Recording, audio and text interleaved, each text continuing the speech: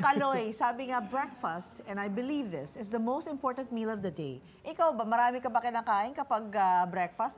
Am I asking myself because I can answer for Kaloy? Oo, actually. Pero alam na ni Miss Lynn ang sagot dito. Oo, um, actually, I agree. Um, breakfast is the most important meal of the True, day. true. At saka pinakamarami rin ako kumain pag breakfast. Kaya nga, naganda sila marami para sa'yo. Kilala nila ako, pero eto sa mga breakfast lover dyan at naghahanap ng sulit na kainan, eh perfect sa inyo ang pinuntahang breakfast buffet ni Chef JR today. Sa 99 pesos mo, may sukli pa yung isang daan mo ha, eat all you can na. Dito mukhang pwede ako manlibre. Actually, dadaling ko ang buong barkada ko. Oo, alam ko Kaloy, ang hirap na magluto ng isang dish. Paano pa kaya? Naku, ang dami dyan, di ba? Alamin natin kay Chef. Chef, kumusta na? Marami na naluto. Kasi hindi pa nagagalaw, oh. A pleasant morning sa inyo dyan. Hello, hello. Hello, Ma'am Lynn. Hello, Kaloy. Hello sa inyo dyan. Yes, totoo yan. Talagang pag gantong buffet ang labanan, eh, magtataka ka, paano ba nila na-execute yan? At yun nga ang ating food adventure this morning. Dito sa isang buffet restaurant, dito sa Makati City, na talaga namang certified na pinipilahan dahil sabi nga nila dyan sa studio, eh, sa halagang 99 pesos, eh marami ka ng pagpipilian. In fact, at least 10 dishes ang inyong pwedeng kunin sa inyong plato at talaga namang lantakan. So ito, kasama natin this morning si Sir Irby, ang may-ari ng napakataba, napakatalino na to na buffet restaurant na ito na open. Sir, anong oras po kayo open? 7 po ng morning till 8 o'clock ng gabi. Okay, so yung restaurant nila is from 7 a.m. to 8 p.m. pero yung buffet nila is from 7 a.m. to 10 a.m. lang. So talagang ito dito nagkakaroon ng pila sa labas talaga, sir, ano, blockbuster. So ito niluluto natin kasi kailangan by 7 a.m. naka-ready na yung ating spread. So nagluluto lang tayo ng isa sa mga putahe nila this morning. Ito yung ating ginataang puso ng ng saging. saging. So ito po, Sir Irvin, no, nilagay na natin yung mga ating panggisa. And of course, yung ating blanch or part cook Na, na puso, ng, saging. Sir, paano po ang labanan nito? Mga ilang tao ang ina-expect ninyo every service? Ang- every breakfast? Ang pagka regular days po, ang usually between 80 to 100 people. 80 to 100. Oo. Tapos, ang maganda dito, yung menu nila, Sir Irby, eh malalaman nyo the day before dun Yes, sa kanilang nakapost sa page. page, namin na Okay. Herbies Affordable and More Tapos- sa Facebook. Tapos pagka Sunday naman po, mas maraming tao, around 150 to 180 Ay, oo. people. Yun yung talagang pinaka-peak Oo. ninyo. Oo. So ito, sinisison lang natin ng konting salt.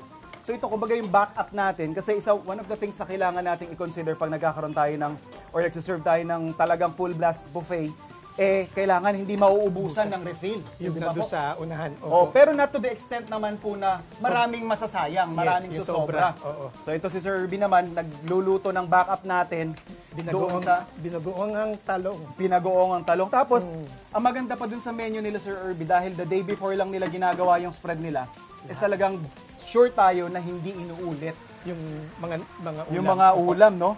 So eto, lalagay lang natin yung gata. Tapos, isi-simmer lang natin to.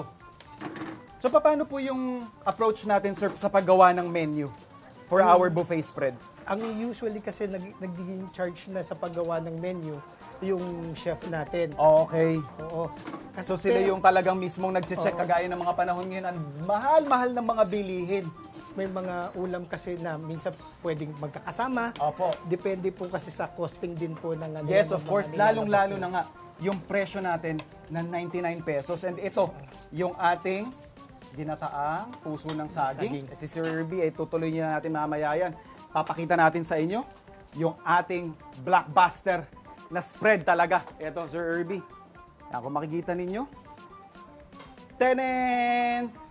So, saan ka makakakita ng 99 pesos na ganito karami yung pagpipili. At syempre, meron tayo dito yung niluluto ni Sir Irby na binagoong ang talong. Meron tayong classic na lumpiang Shanghai. Meron din tayong egg dish dito na tuna omelette.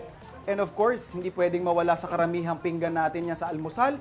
Yung ating pritong dilis, and tuyo. Tuyo. Hindi pwedeng mawala yan. At eto, yung niluto ko naman kanina, na ginata ang puso ng saging. And of course, yung ating longganisa at ang walang kamatayang fried rice. At ang maganda pa dito, Sir Bino, sa spread ninyo, bukod sa mga ulam at kanin, meron din kayong desserts, Desserts at, at inumin. drinks. So yan, kasama na yon May sa kasama pang drinks. Tama. Tapos ngayon, sabi nga natin, paulit-ulit nating sinasabi na nagtataas talaga yung presyo. Presyo. Paano po ang impact nito doon sa 99 pesos ninyo na siniserve sa inyong mga suking talaga namang gutom na gutom? Unang-una kasi, ang etong ano, etong buffet na to, syempre nag-umpisa kami, wala kaming walang market ng from 7 o- o'clock Apo. AM hanggang 10 o'clock. Since naglagay kami ng buffet, ang mga tao ngayon may pumupunta na dito. Aside from the perks na na-feature kami, may mga tao na yung daily na, na Apo. nasanay na na dito kumakain. Imagine niyo sa halagang 99 pesos, sino pang hindi pupunta? Tama-tama Diba? po yan. Eto Oo. na nga, mga kapuso, eto, kita nyo. Marami-rami pa akong lalantakan dito at nag-uumpisa na yung pila sa labas. Eh, kakain muna kami dito. Tuloy-tuloy lang yung food adventure natin sa mga gantong sulit na kainan spots. Kami nga maasahan nyo yan sa inyong pambansang morning show kung saan laging una ka, unang hirit!